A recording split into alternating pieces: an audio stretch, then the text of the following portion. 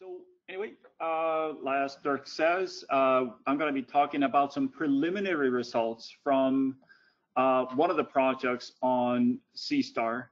Um, the first project, which uh, I'm the PI on, and my my co-investigator on the, that project is uh, is Dirk Van So I'm going to be talking about biographical, behavioral, and neurological predictors of a aphasia treatment outcome. That is, can we, based on baseline factors, can we predict how well somebody is going to respond to treatment?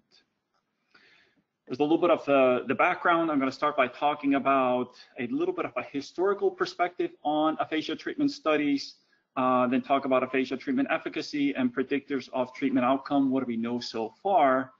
Then I'm going to get to our current data from C-STAR, talk about biographical uh, predictors, baseline test predictors, and lesion predictors. That is, can we predict outcome based on the pattern of brain damage among the participants? And if I have time at the end, I'm going to talk a little bit about some issues that I think we need to address as we go forward with the field of aphasia treatment in our in the field of aphasia treatment research, such as dosage and statistical power.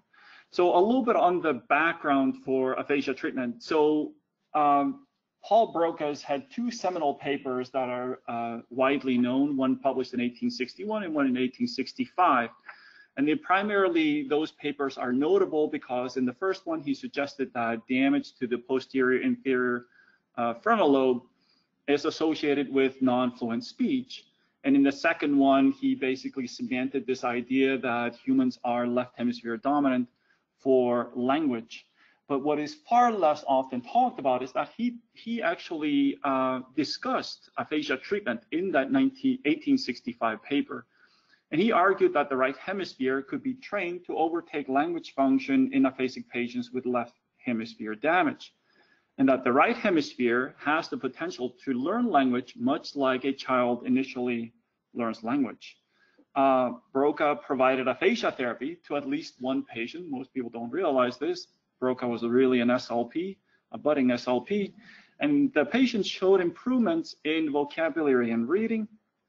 And Broca suggested that one of the main reasons why aphasic patients did not relearn language at a faster rate was because they also tended to have cognitive or intellectual problems that impaired the learning process. We still don't know whether this is the case. We always talk about aphasia, well, it's not a problem of intellect, but it is certainly possible for somebody that has aphasia that the same damage that caused that aphasia could also cause problems with cognition.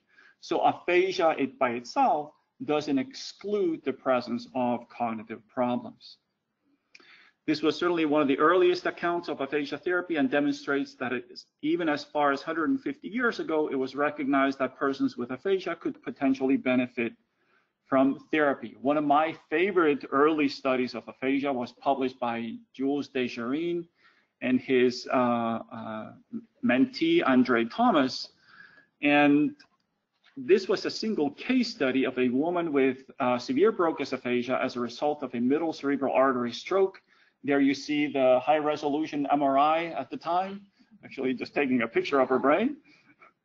But um, their therapy was focused on pairing single letters with production of correct of corresponding phonemes. There was particular emphasis on the participant observing the articulators of the clinician while uh, she produced the individual phonemes. And they called this the visual approach. The reason why I really like this is because uh, the participant was required to either repeat or imitate the speech production of the clinician in real time. And maybe this is what something that we have called speech entrainment, something that was first, as far as I can tell, presented by Jay Rosenbek and colleagues as a part of treatment for apraxia of speech back in 1973.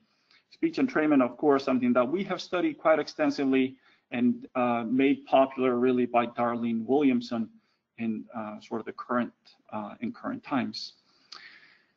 A little bit about aphasia treatment. Now, does it work? Well, this has been a very contentious issue through the years. Um, and this paper is particularly famous by uh, Lincoln et al., which was pu published in Lancet back in 1984. I have to say that when I got the preprint of this paper, it made me feel really old because if you look at this, it has like the yellow edges and it kind of looks like it could have just as well been published back in the days of Broca and Wernicke. But actually, at the time that this was published, I was 15 years old. So uh, puts things in perspective. Um, by the way, this study included 191 participants. They were all in what we would now call the subacute phase of stroke, uh, at least 10 weeks post-stroke. They got two weeks, I mean, they got two therapy sessions per week for 24 weeks. And in a nutshell, they found no difference between treatment and no treatment. So this was a negative study suggesting that aphasia therapy, at least in the early phases, was not effective. Now, much more recently, a, um, um, a meta-analysis by Brady et al., uh, which was a part of a Cochrane review, suggested that there was some evidence indeed in favor of aphasia, treatment. And then more updated uh, meta-analysis suggested that there was more definitive evidence in favor of aphasia treatment. But what they also concluded was that we have very limited understand, well, we have very limited data on what is the best dosage, and we have no data to suggest that one aphasia therapy is better than another kind of aphasia therapy. Now, that brings me to a paper by Breitenstein et al., which was published last year in Lancet.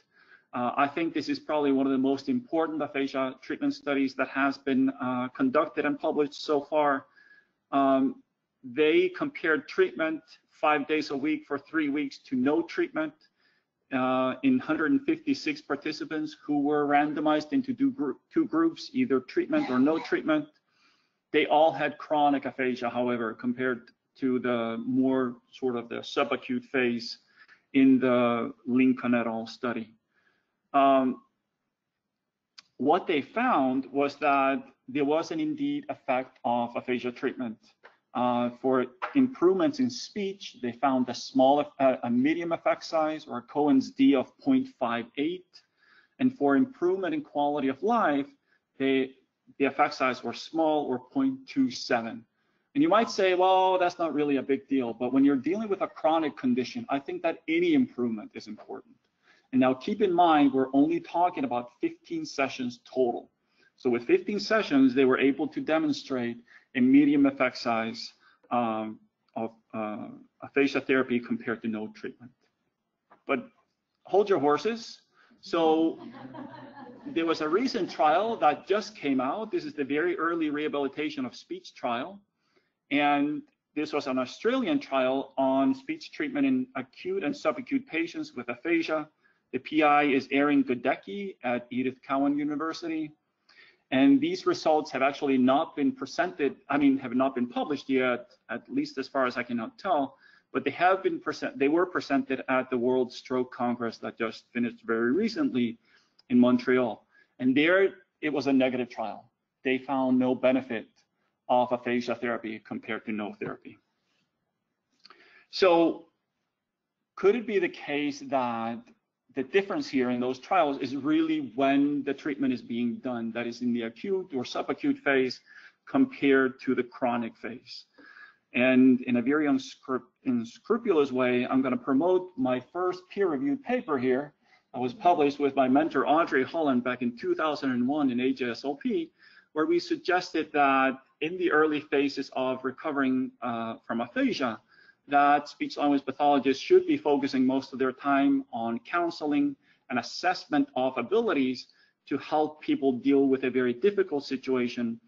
Um, uh, Richard Peach, who is at Rush University, did not like our paper at all and wrote a, a rebuttal to it, and which we then got to write a response to. Um, and I actually was the first author on uh, that. I have to say, going back and looking at that paper, I was very surprised at the very contentious tone of my paper as I wrote at that time. I would certainly not write it that way now.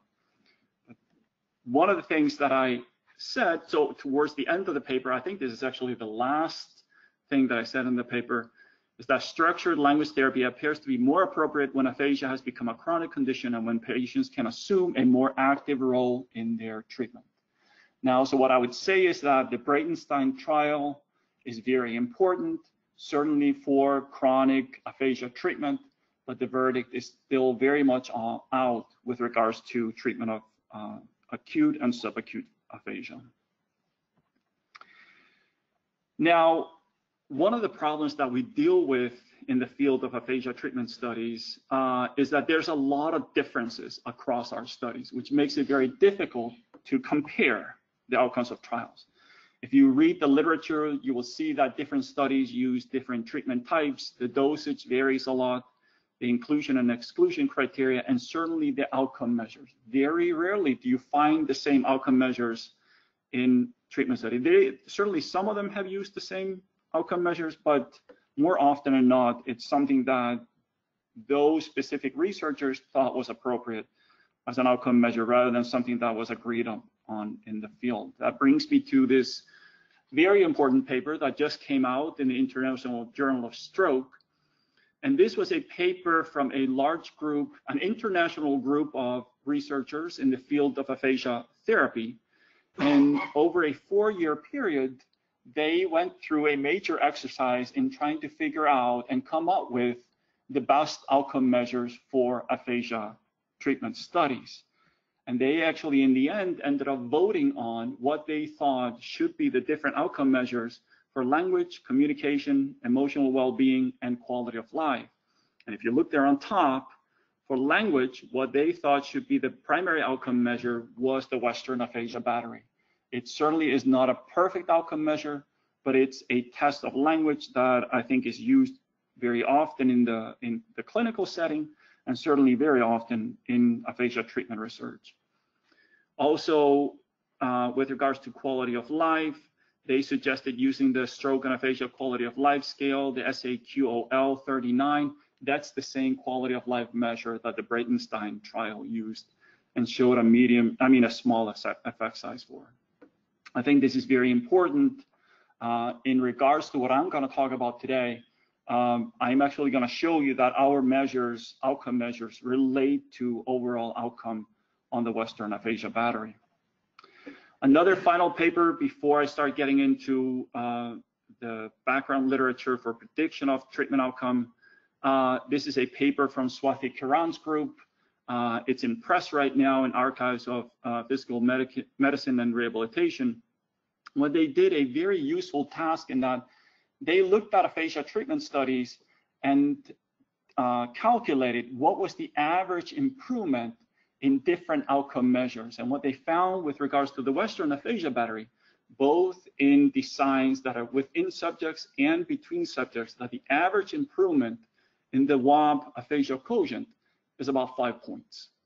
And I think that that's something that perhaps we can then use as what we would expect for standard of care aphasia treatment outcome. This is all very important for trials in uh, aphasia therapy. So what do we know about predictors of aphasia recovery?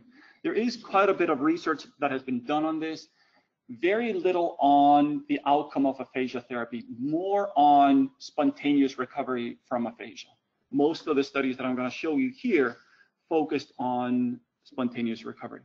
So these couple of studies, the first one from Holland et al., so Audrey Holland, and the second from Terry Wertz and Nina Dronker suggested that older age had a negative effect on long-term recovery from aphasia. Also education, uh, less education was also found to have a negative effect, and women were thought to have a better long-term outcome than men. Also, this one study by Cathy Price et al. suggested that time post-stroke, so the further you are away from uh, the stroke, the less likely you are going to improve. Uh, with regards to aphasia severity, it's by and large agreed upon that more severe patients do tend to recover less. So the, the most of the, the recovery that we see, both treated and spontaneous recovery, is mainly in the patients with moderate to mild aphasia, and that these very severe cases tend to show relatively less recovery. And that brings me to our data.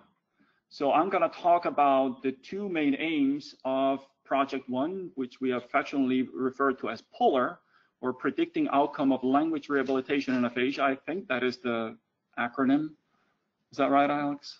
Yeah. I think so. Uh, we came up with this a long time ago, so I haven't looked at that in a long time. We always refer to it as polar now. But anyway, the aim number one is to identify biographical and cognitive linguistic factors that predict aphasia treatment outcome. And that is what we're trying to do here is to give information to clinicians in the field about the next person that you're going to be treating. Can you tell something about how well they're going to respond to therapy based on their baseline factors? And then aim two is to test whether the dual stream model from Hickok and Poeppel that most of you probably have heard of, um, whether damage to the regions that are included in the dual stream model, whether knowing how much damage there is to those regions improves our prediction beyond the biographical and cognitive linguistic factors.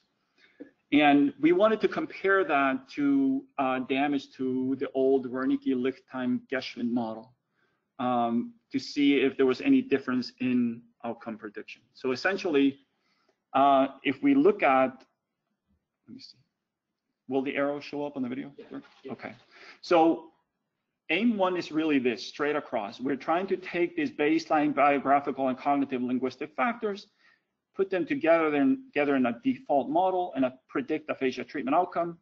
And then aim two is really to take damage in the dual stream model, see if we can add it to the default model, and then improve upon our, our outcome prediction. And then finally, we're going to compare that to damage to this old Wernicke-Lichtheim-Geschwind model. So those are the two aims. Here's the study design. Uh, let me just walk you through this. Here on the top row is the timeline. So this is week zero, all the way out to week 38. Uh, G1 is group one. So group one starts uh, the evaluation, doing all the baseline tests during the first week. And then they go through three weeks of phonological treatment. So five, day, uh, five days a week, 45 minutes per session. Then they take four weeks off and then they cross over and do a, whoa, and then do a semantic uh, treatment for the same duration that they did the phonological treatment approach. We do assessment before and after each one of these three week uh, phases. And then we do another assessment at four weeks post uh, completion of the second treatment phase. And then again at six months post. The data that I'm going to talk about today is mostly focused on predicting the long-term outcome. That is six months. And essentially, that's what I think what clinicians and patients want. It's important to know how well you're going to be doing immediately when the treatment is over. But I think really what people want to know is, does this last? So we're trying to tell not just people, well, you're going to get better, but that this is going to be maintained at some time in the future. And we selected six months, both mostly for practical reasons. Once you keep going out further than that, you're probably going to start experiencing things like major attrition. So I'm going to be talking about mainly predicting six months outcome, which for aphasia treatment studies is not that common. Most aphasia treatment studies look at treatment outcome, let's say one week after, or maybe three weeks after treatment co completion. So we're looking out pretty far out in, in time. Now, compared to group one, group two does exactly the same uh, phase with regards to the timeline, except that they start with a semantic treatment approach and then they cross over to the phonological treatment approach. So this is a crossover design. The only randomization that we're doing is to determine who's going to get the semantic and who's going to get the phonological treatment first. We do MRIs at baseline, and we do it immediately after the first and second uh, treatment phases, and again at six months. So multiple MRI sessions. Uh, I'm only going to talk about MRI data, however, at baseline today. The semantic treatment tasks, like I said, these treatment sessions are 45 minutes. We have three different tasks that we think focus more or less on semantic uh, processing. The first one is semantic feature analysis. The next one is a semantic barrier task. And the final word, final one is called VNeST or verb network strengthening treatment. We are not saying that these isolate semantic processing somehow, but rather that they focus more on semantics rather than phonology.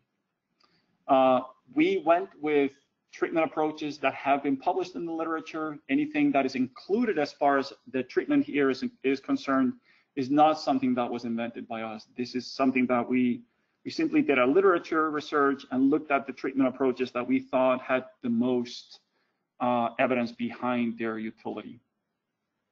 The phonological treatment tasks are phonological component analysis, phonological production task, and phonological judgment task. So these are the three different tasks that we tackle in each session, 15 minutes at a time, more or less. Now the outcome measures. Um, we look at two different kinds of outcomes. The first one is discourse. Uh, we have three tasks that we do at each one of the time points where we do uh, assess outcome. Um, these come from the Aphasia Bank, which is Brian MacWhinney's project. Uh, the, the tasks that we use are the Cinderella task. That is, you tell, you get a picture book and you have to retell the story of Cinderella. We ask the participants to describe how you make a peanut butter and jelly sandwich. And finally, they get a series of pictures about a boy breaking a window and the participant is supposed to retell the story of what is happening in those series of pictures. The measures that we derive from um, these three tasks are content words per minute, verbs per utterance, propositional density, semantic errors, and phonological errors. We also assess naming. Uh, we we look at both uh, items that are included in the treatment sessions. I'm not going to talk about those items here today. I'm only going to talk about items from the Philadelphia naming test. That's Myrna Schwartz's test. And so those are items that are not included in the training. So we're looking at generalization here. And for from the Philadelphia naming test or the PNT, uh, we looked at we look at correct naming, phonological errors, and semantic errors. Here's the enrollment so far for Polar. So we're about two and a half years into our grant period, just over that. And the total number of participants enrolled so far is 64. Three out of those participants are controls. Those are folks who have left hemisphere damage but do not have aphasia. Those are going to be included in different kinds of analyses for different C-STAR projects. One person withdrew. So at this time, the number of subjects that have completed the study and we've done all the scoring for, which takes a, a long time to do, um, there are 38 participants. So 60 uh, total that have been enrolled. So let's say six months from now, we'll probably be somewhere close to that number with regards to completion. Our goal is to get into at least the three digits with regards to subject enrollment before the project period is over. So keep in mind, the prediction models that I'm going to be showing you today are based on only 38 participants. So that's why I talked about this certainly being preliminary data. There's a little bit of a breakdown of polar enrollment. As you, this is for both uh, sex and um, age. Most of our, uh, the age group with the most participants, or 20, was 60 to 70. Yikes. Hold on, bear with me. There we go. 60 to 70. Uh, we've had one person who was under the age of 30, and then we've had, let me see, 15 participants in the 70 to 80 range. And we've had more males than men than women. Here's the breakdown of the aphasia types. Half of our participants have had Broca's aphasia, um, and then that followed by anomic aphasia, and then um, conduction, and then finally Wernicke's and uh, um, global. We go to great lengths to maintain uh, study fidelity, both with regards to assessment and treatment. I will say I'm not going to get into great detail with all the things that we do with regards to uh, fidelity, but to say that the sections on fidelity for polar were written by Jessica Richardson. If you're interested in an excellent paper on this very important topic, Jessica published something in AJSLP a couple of years ago, and I put the reference down there. Jessica is now a, a professor at the University of New Mexico.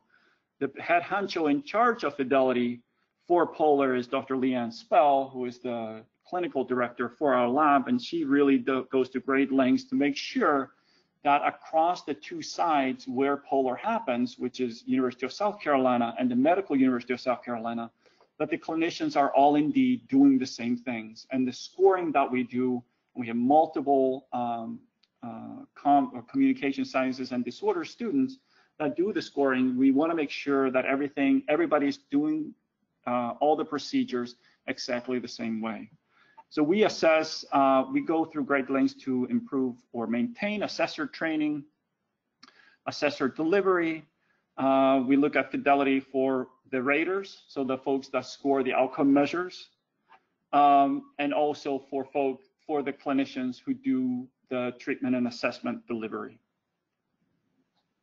Also, in addition to that, we initially for Polar, we would meet on weekly basis for all the clinicians and everybody involved We've decreased our meetings now to once a month, which I think is ample to uh, to maintain uh, not just sort of like the progress of the of the project, but also to, to discuss things like fidelity.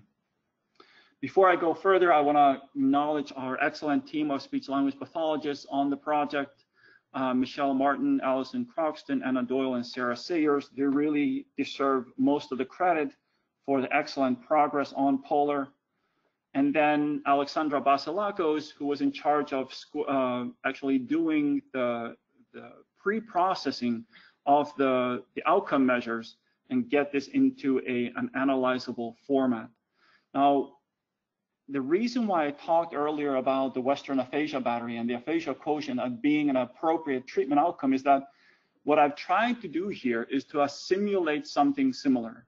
So instead of looking at each individual uh, outcome measure that we could look at here, uh, content words per minute and so on, what we've done is that we've come up with an aggregate measure. So we've calculated a t-score for all the different measures for both discourse and naming, and then we add them together and divide by the number of different factors to come up with an overall outcome. So what we're trying to come up with here is a measure of overall severity so that the folks who are hopefully showing the greatest improvement on this overall outcome are the ones that are experiencing the greatest improvement in language. So I want to show you at baseline for those different measures from both discourse and naming, I want to show you the correlation with a aphasia quotient at baseline. And not surprisingly, that correlation is pretty good. The R squared is 0.485 so that the folks with milder aphasia score much higher on this outcome measure at baseline compared to the more severe participants.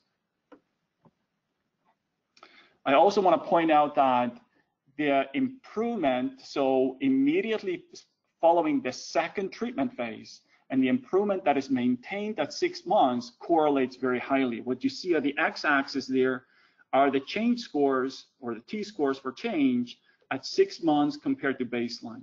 What you see on the y-axis is change scores for immediately post-treatment. So anybody below that regression line is doing a little bit better at six months than they were doing immediately post. Um, just to show you that people that tend to do better with outcome at six months, that was maintained from immediately post-treatment. Um, I also wanted to show, because I showed you that slide earlier where we said that overall aphasia severity is associated with outcome. That was no different here. And that's what we've come to expect. It's not a strong correlation between the overall WAB-AQ and WAB-AQ, for those of you who don't know, that's an overall measure of aphasia severity. The folks with the highest WAB-AQ, so the least severe participants, tended to to benefit more from treatment than the more severe participants. Now, I will say that that is not, this is not a great predictor. The p-value there is 0.02. There were some people with fairly severe aphasia that showed very nice responses, and there were some people with very mild aphasia who did not respond at all. So this is a positive predictor, but it certainly is not a great predictor. But because it was a predictor and it's been reported again and again in the literature, in our regression models that I'm going to talk about next, we included always WAB-AQ as a cofactor because we wanted to make sure that whatever regressions we were doing, we were not simply showing an effect of severity. So keep that in mind when I show you the regression models. The way that we did the statistical modeling here, we used a module from SPSS called Automatic Linear Modeling. This is just sort of like a fancy uh, regression modeling approach. Uh, but what it does that is, I think is particularly nice is that it has a nice way to treat without, nice way to treat outliers.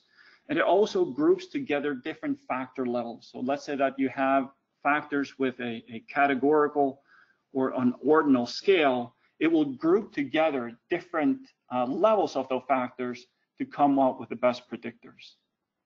We chose to go with best subsets as predictors, and we used what is called an overfit prevention criterion, where the best model was selected based on training of 70% of the data and testing uh, on 30%.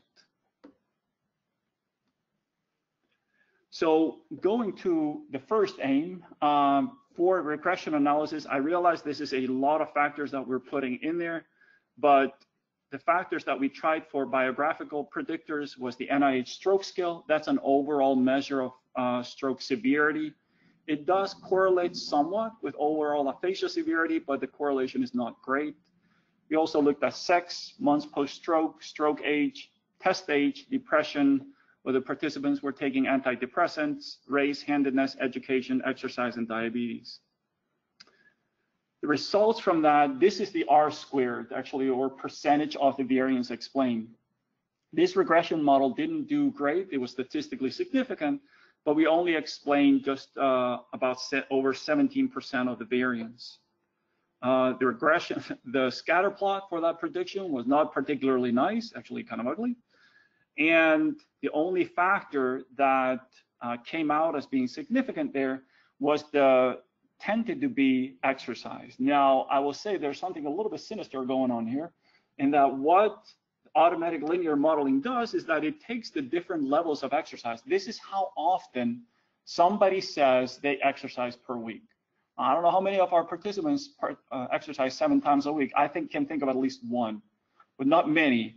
But what it has done there, if you look at the x-axis, on the left, those who exercised once or twice, they didn't do as well as those that exercised never, which is zero, and those all the way up to seven, which is why I said it tended to. So this is just something that automatic linear modeling does, um, but there seems to be some correlation here with overall exercise.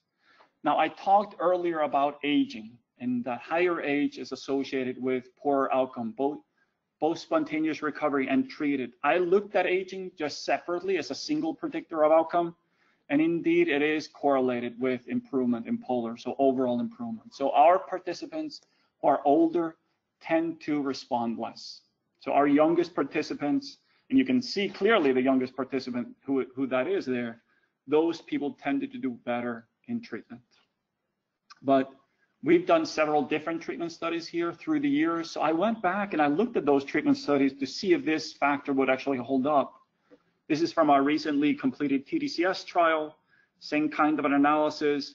It's not statistically significant, but there's certainly a trend that the older you get, you respond a little bit worse to therapy. And finally, one of our first treatment studies, not statistically significant, but certainly folks who are older seem to do a little bit worse than their younger counterparts in treatment. This is not a great predictor, but it does seem to influence treatment outcome.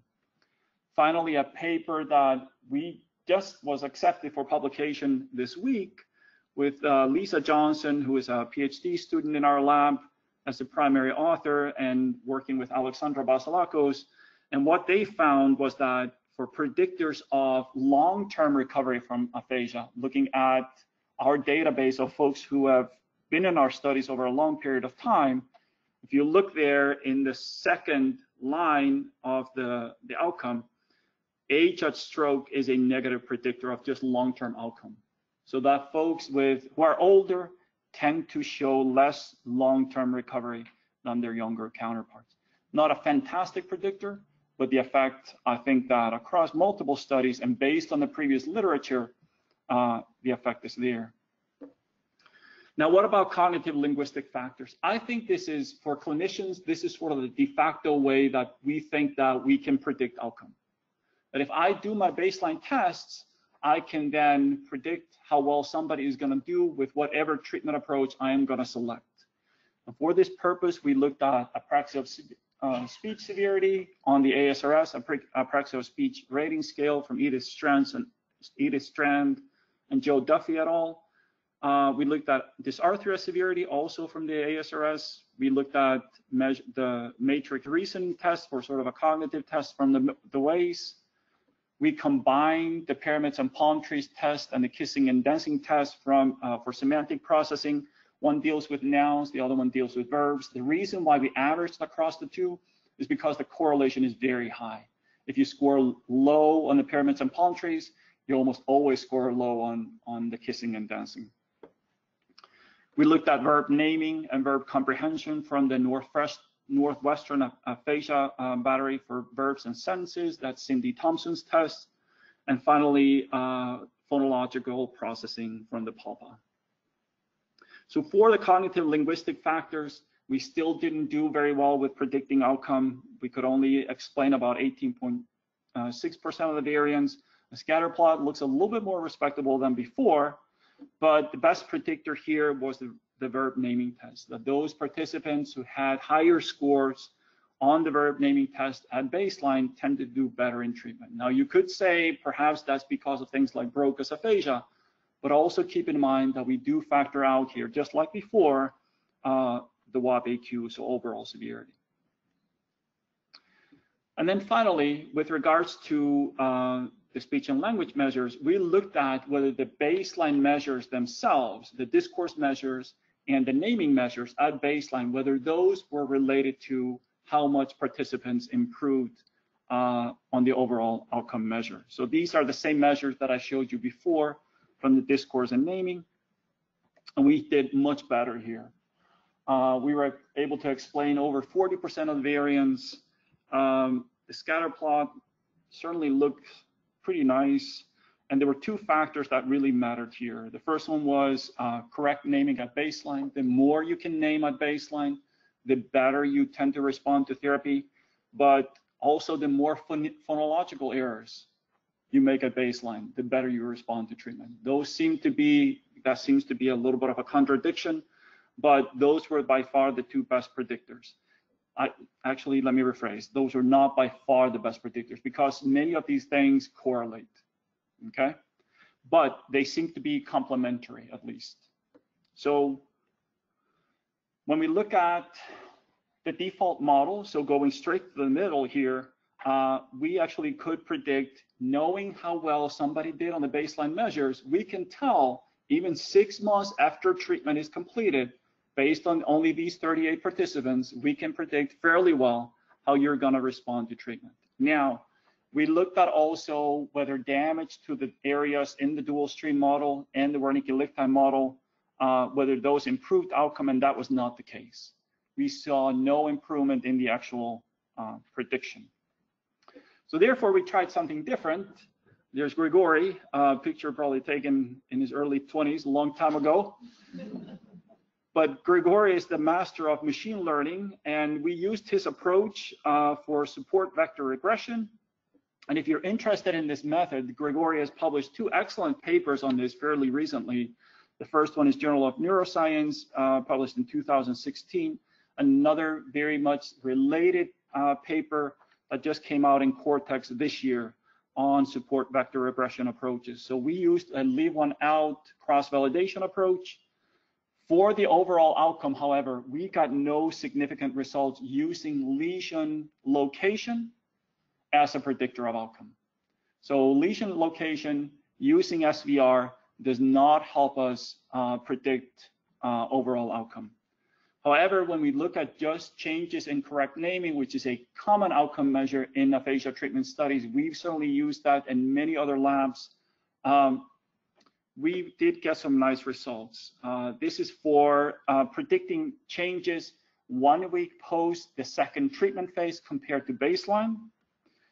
This is the correlation between actual scores there on the x-axis and the predicted scores on the y-axis.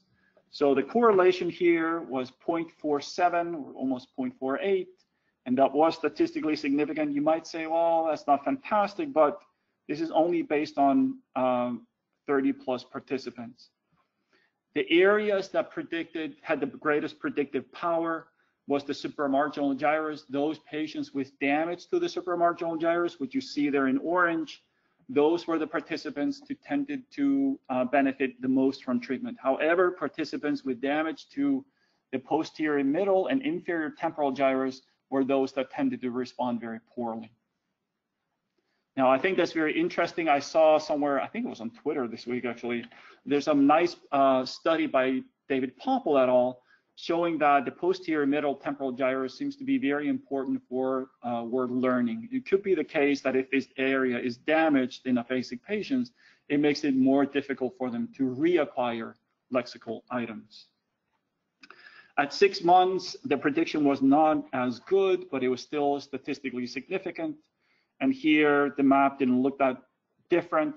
Uh, still, the supramarginal gyrus was the best predictor, and the posterior regions there in blue were the areas that were associated with particularly poor outcome. Okay, so um, a little bit of a discussion here. So with regards to AIM-1, biographical and cognitive linguistic factors, biographical factors provide moderate predictive power. They don't do great. Uh, same thing for base, baseline neuropsych and speech and language tests. They improve, and I, and I don't really think that I can say that they improve. It's a marginal difference in improvement in, in prediction, but the baseline scores themselves uh, provide by far the best prediction, and they're an R squared of over 0.4 for a study with not more participants than that uh, I think that that's pretty good because we are trying to predict something really far ahead of time, out, out, out in time with regards to clinical practice. Bless you. With uh, for AIM2, for lesion predictors, uh, the dual stream and Wernicke-Lichtheim-Geschwind models, at least as we set it up in our hypotheses, these do not provide complementary um, predictive power using the statistical uh, approach of automatic linear modeling and SPSS However, SVR, um, we cannot predict overall outcome, but we can predict changes in correct naming on the Philadelphia naming test. It could be the case that as we keep adding more participants and our statistical power goes up, that we'll get closer to what I think is a, a nice outcome measure, and that is this overall outcome measure, uh, overall uh, uh, uh change in overall outcome. Uh, I just said this, I, I really think that we are probably at the, the study is certainly underpowered. There's no doubt about it. We are gonna keep plugging along with our data collection. We still have quite a bit of time to add more participants. Um, we would really like to at least uh, get into the hundreds uh, with regards to total enrollment. Um, we can perhaps use like baseline data to predict outcome. The future goal is really to come up with a model that we can then publish and tell speech language pathologists that are working in the field, here are the tests that you need to do if you want to understand how your participant is going to uh, respond to treatment. And I think that's very important for, for uh, this next bullet there. With regards with regards to guiding treatment, what we work on as speech language pathologists are basically two things. One is restoration of language. That is that we want to improve somebody's ability to process language. And the other one is compensation. That is compensation for the impairment. Not necessarily by improving the language itself, but also but providing some kind of a, a different method or an alternative approach that enables somebody to communicate more effectively. What what I'm hoping that we can do with this compre comprehensive uh, prediction model is to say, look, here's the next patient that came in, you do your assessment. For somebody who has very good treatment potential, let's tackle that, let's do uh, therapy with impairment-based uh, uh aphasia treatment. For somebody that we think is not gonna uh, respond based on this prediction model, and obviously we have to do better than how we're doing today, let's focus on compensation. I think that that's really where we need to go. Uh, we don't know yet whether treatment type matters. We are looking at both phonological and semantic based treatment. Uh, we are working on this. Uh, Grant Walker, who's a postdoc on C-STAR, has started looking at these data. He says he has some promising data, so I would say that watch this space. Maybe it matters what kind of treatment you give to what kind of uh, a, a, person with what kind of uh, impairment pattern. But I think we need certainly more power to be able to do that. Um, a little bit on the considerations. I actually got through this quite a bit faster than I thought I was. So good, because this is going to be my favorite part. So when John Krakauer, he gave a talk here a couple of weeks ago, and he talked about some of the things that he, he considers challenges for motor recovery in stroke. And that reminded me of many of the discussions that we've had in our field with regards to aphasia recovery uh, and many of the deficiencies that we've had to deal with and how we can do better. The effect sizes that we typically see in aphasia treatment studies tend to be small to medium. Um, and we still don't know really whether we're improving quality of life. The Breitenstein study is, is encouraging, but I really think that what most patients are looking for are much larger effect sizes than what we have been able to demonstrate so far. And given that, for example, the participants in our study they're getting six weeks of therapy. That's for most Americans that get rehabilitation today, that's probably far more than what they get out in the rehabilitation setting. So if they are getting aphasia therapy and we can uh, uh, transfer these effect sizes from the, from the lab to the rehab setting, then those participants are probably responding even less, which is not great. Now we touched on the restoration versus compensation issue on the previous slide. Um, should we be working on language impairment or should we should we be working on compensation? And I think that in the 1990s, at least that's when I see it happening, there started to be greater emphasis on compensation. So not so maybe going away from uh, impairment-based aphasia therapy, but rather focusing more on what can I do to give the person some kind of a scaffold that can help them improve their communication, perhaps um, regardless of whether their language improves or not. I still think there is heavy emphasis on restoration in most of the aphasia treatment research, but that brings me into the last thing there, which I think is by far the most important one, is that if you look at the animal literature on stroke recovery, so these are where the, the stroke is induced, for example, in a rodent, and the rodent is then trained uh, to regain limb function, for example. Those studies include far more sessions than anything that you would see either in research studies or in the clinical setting when we're looking at recovery from, from, uh, from motor impairment.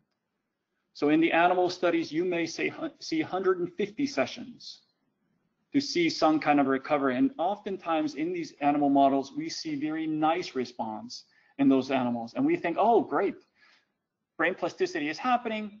That's what is happening when I'm doing therapy. But it's probably likely that the dose plays a very important role here. Uh, I suspect that most aphasia treatment studies with regards to what is optimal dosage, that they're underpowered. Um, I liken this to treating a severe headache with 20 milligrams of Tylenol. Well, it probably is better than nothing, but in most cases, it probably doesn't help you at all. And then we think, oh, let's do intensive therapy. So instead of giving somebody 20 milligrams, we're going to give them 40 milligrams. And still, that's probably not going to improve your function very much. I think what we need to achieve at some point in aphasia treatment research is really to give somebody who has a headache 500 milligrams of Tylenol. We haven't reached that level. I think that's something that we need to build towards. I really think that if we want to focus on restoration, which I think is what we have to focus on for the future, because that's what every aphasic patient wants. They want to regain the function that they lost. I know that we talk a lot about, oh, they got to be able to communicate. That's very important. But what people with aphasia want is restoration of function. And then that will lead to improvements in quality of life. We need to build our models so that we can build our treatment studies that we're giving a lot more treatment that we're doing right now. That, of course, the limitate one of the limitations to that is that that's very difficult to do. It's very expensive, but also that's not realistic for the rehab setting today. If you go to any rehab hospital today where somebody's getting aphasia therapy, they will not get 150 sessions. That would be a, a, an extreme case. So any stroke patient that you see over at the hospital right now who's going to be transferred over to rehab, they will not get 150 sessions. That just doesn't happen.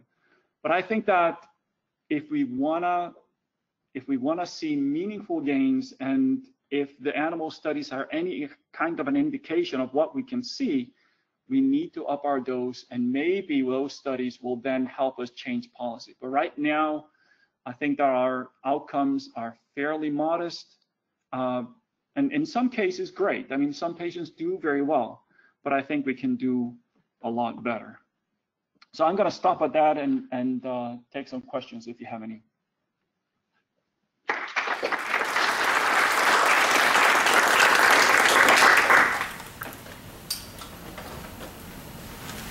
What?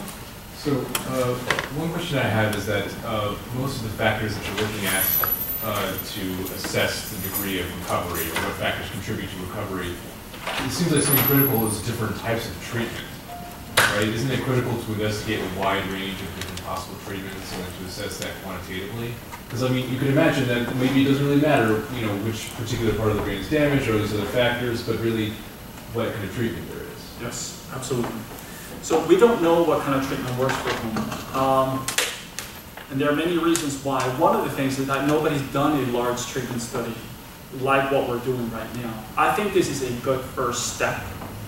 But ultimately what we want to be able to say, if treatment doesn't matter, if phonological treatment is no better than semantic treatment or vice versa, maybe it's just that you need language stimulation.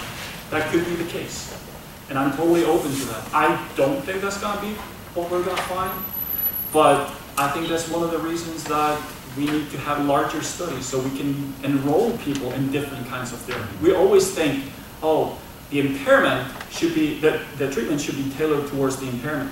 Do you know what? It seems, intuitively it seems right, but we have very mm-hmm. little evidence to suggest that that's how it goes. Sudha? Okay. Sorry I cut you off earlier, just for the taping purposes. Sure. Uh, the, the question I had was when you were talking about the study where they randomized 156 patients to Mhm. those two uh, groups, and the effect size was pretty small, right? So I was wondering, the persons who are randomized to no intervention, there is nothing that happens to them to make them feel that way. So the intervention group would actually be a placebo effect because they are actively engaged in something. Yes, so what they did, what they was actually pretty nice, is that they had a delayed treatment. So the folks who actually did, were in the randomized to no treatment, then they got three weeks of treatment, just like the initial group. And they showed very similar changes. So far greater changes during those second three weeks compared to the first three weeks. I think that's their way of dealing with And a little follow-up to it. Yesterday, there was, I think, some study which was indicating that when there is uh, upper limb, uh, you know, uh, involvement in stroke, and um, the uh, rehabilitative, intense rehabilitative uh, efforts for the uh, upper limb rehab actually improved, dramatically improved aphasia response. it. So do you have something to say about how Yeah. your study might, So there, are people Try to repeat the question, please. Oh, sorry. So the question is, uh, there was a study that showed that uh, treatment of, uh, of upper limb function, uh, so in, in motor recovery, actually improved uh, aphasia, aphasia severity essentially.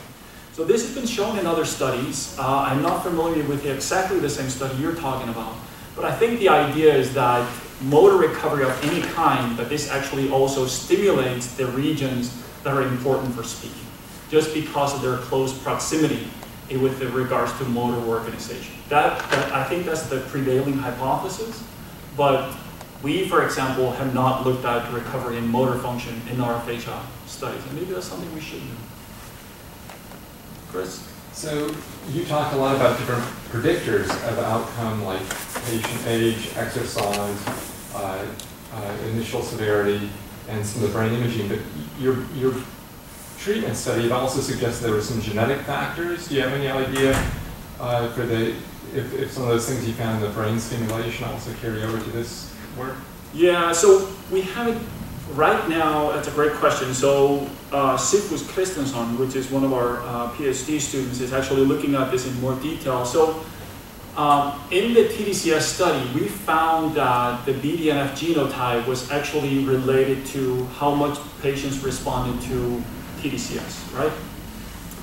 What we have found is that the overall aphasia severity in chronic stroke, and we published that in a, a paper in brain stimulation, that that um, the overall severity in long-term recovery does seem to be related to BDNF genotype. We are looking at this in polar as well. We haven't included it as a predictor, but we've added people from polar to our TDCS study. Is it like 89 patients now, Sigfus? So with, with 89 participants, we find a very clear difference in language measures, but not in other measures with regards to uh, impairment severity.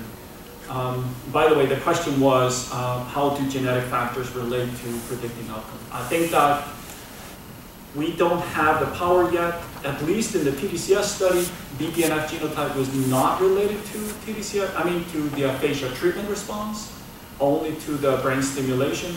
But whether this is a factor in the aphasia treatment itself, I think we need a lot more power. But at the very least, you're looking at long-term outcome, it does seem to be the case that folks with atypical BDNF genotype recover less, or at least they're more severe in the chronic phase. Yeah, just, uh, you, you may have mentioned this, but in terms of the, the biographical factors, I'm curious about the, the role of gender, whether you might be finding, or if you find any traces of differences between how men and women might respond. Um, and then maybe if, if that, there's some confounding at times, particularly the older age group, so there tends to be more of the women that are, are older in the sample. And I'm just wondering if you could say a little bit more about that and, and your thoughts. Yeah. Yeah, so Spencer has a question about the, the role of gender in outcome in aphasia treatment study. So there are a couple of older studies that suggest that women respond better. This is an interesting thing for us because we get far more men than women as participants. We, our sample is basically self-referred from the community. I suspect, and Leigh Ann, maybe you can chime in on this, I suspect that wives are much more proactive in finding treatments for their husbands than husbands perhaps for wives. I don't know, but um, we haven't looked, I haven't looked at it specifically, whether that's a factor in response, but it does seem to be a factor, at least for us, with regards to who is looking for treatment. Question online uh, from uh, Heather. Uh, For the support vector regression study, did you control for overall lesion size and does that relate to outcomes? Not just lesion location, but lesion size? Uh, you know, that's a great question. I think Grigori usually controls for lesion size. Do you, do you have an idea, Chris? He usually puts it as a feature because it's a good predictor. We're trying to Yeah, I, I think it was included, but I would have to ask Grigori. Unfortunately, he's, he's scanning right now. So I, I'm not completely sure. I'm pretty, I, I suspect it is because he almost always includes it as a feature in the analysis. I should know that, but I'll, I'll definitely check on that. We have another one here from Svetlana Alvirina. Great talk, thank you. What were the exclusion criteria, especially in neurological aspects? Yeah, that's a great question. So, uh, our TDCS trial, we had quite a bit of exclusion criteria. We excluded folks with second strokes, uh, people with very severe aphasia. What we tried to do here was to be much more inclusive. Um, you cannot have had a right hemisphere stroke, but you can have had more than one strokes. And the reason why we do that is because we're trying to make our results reflect the general population. There are so many people who've had multiple strokes, and we felt like even though it might make the prediction better uh, and our models better, that then we can only then generalize that to people with a single stroke. But as we all know, the best predictor of stroke is whether you've had a previous stroke. So we include folks with very severe aphasia, global aphasia. Um, we exclude Yeah, our main exclusion criterion is um, right hemisphere stroke. Also, if you you have to you have to be test you have to test aphasia. So you have to score below the cutoff on the Western aphasia battery for aphasia. So we have we have the whole range, everything from severe global aphasia into folks with mild and anomic aphasia. I have a separate question of my own. For, so I know that this is something that we've talked about in the, in the group as well, but can you talk a little bit about how comfortable you are with the composite measure of treatment outcome, given that so it basically assumes that all the, the t values that you put in will have a positive correlation with outcome, right? That's why you can sum them and divide them and take the mean. But what if one of those has a significant and important and meaningful negative correlation with treatment outcome? Yes.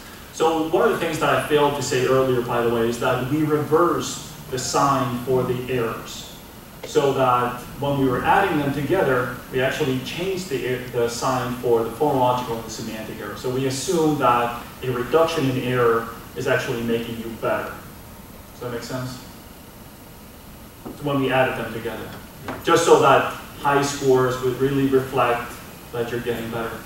I would say that there are pros and cons with the overall outcome measure. Um, I would say that the folks that are, if you look at a scatter plot, like in this case, with rela in relation to uh, uh, WAB-AQ, the folks that are on the far right that, that had the highest t-scores, my bet would be on those are the folks that are showing the greatest improvement, but there's definitely some granularity that we're losing. So in the, as we get more data, it is definitely the plan to look at the individual outcome measures and then how those relate to the overall outcome. Can people, by the way, hear your question? Yes, I think so. If it's loud enough, then they can hear it. But yeah, if it comes from the back of the room. What? So that's why I think you get the opportunity to kind of take a broader perspective on these issues. So that sort of feeds into my question, which is, you mentioned about the issue of uh, like restoration of function versus compensation, with a big focus on restoration, particularly because this is what patients want. But I mean, it's natural for a patient to want to regain what is lost. So how much of it is a burden on us to communicate the degree to which they may not recover function, to, to communicate that information to patients, you know, so that they have expectations or, obviously you don't want to, you don't want to depress expectations unnaturally, but how much is it incumbent to communicate that? No, it, it's, I don't know how common it is for clinicians to actually communicate that. I think that's something that we address with our folks, that when you're coming here with chronic aphasia, the likelihood that you will ever completely recover from this is very low. And we always try, we tell everybody who comes in, we have no idea if this treatment is going to be worthwhile for you. You can give it a shot, but we cannot guarantee you any improvement. How often that is done in clinical practice, I think you should. I think you should tell people that, especially if you're in the chronic phase, if you have uh, certainly moderate to severe aphasia, the chance that you're at some point going to be whole again is very low.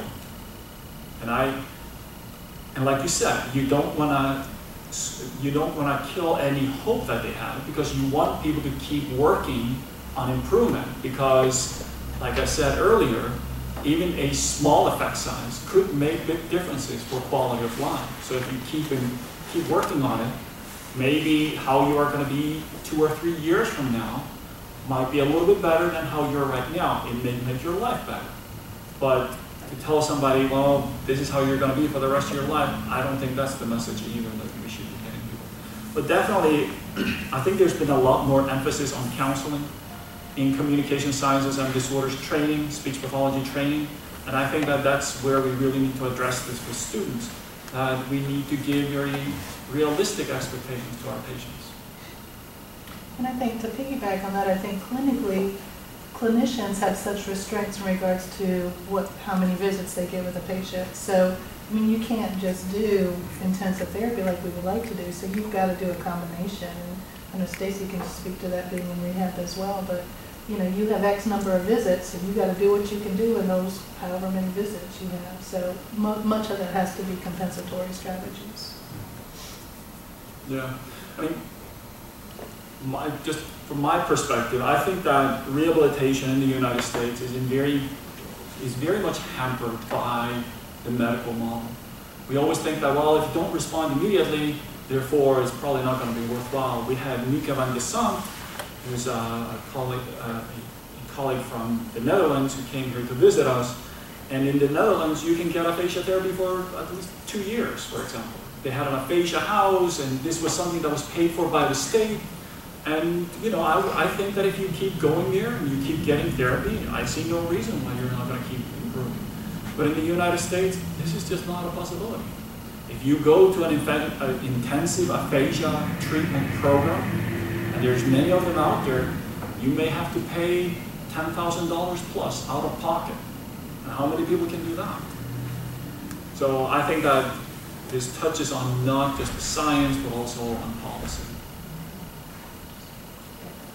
One more question. Huh?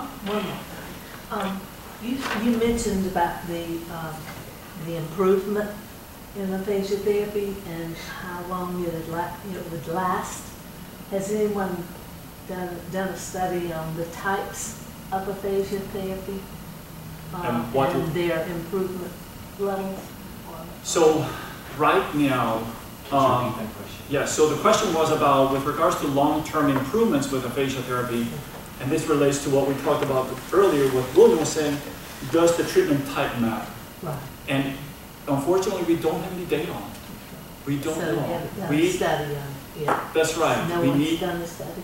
We need more studies on what therapy is best for whom. It could be that, like I said earlier, it could be that just language stimulation, that kind of therapy is, is good, but I suspect that the type of therapy probably matters. And I think we will get at, we will have at least some answers to those questions once we get a lot more data in our project, because we are really comparing two types of therapy. It's very broad, it's very broad, but um, at least when we get to, I would expect hundred plus participants will, will, will start to be able to answer some of those questions. Because there are probably uh, a lot of mixes in Yes. those. Absolutely, absolutely.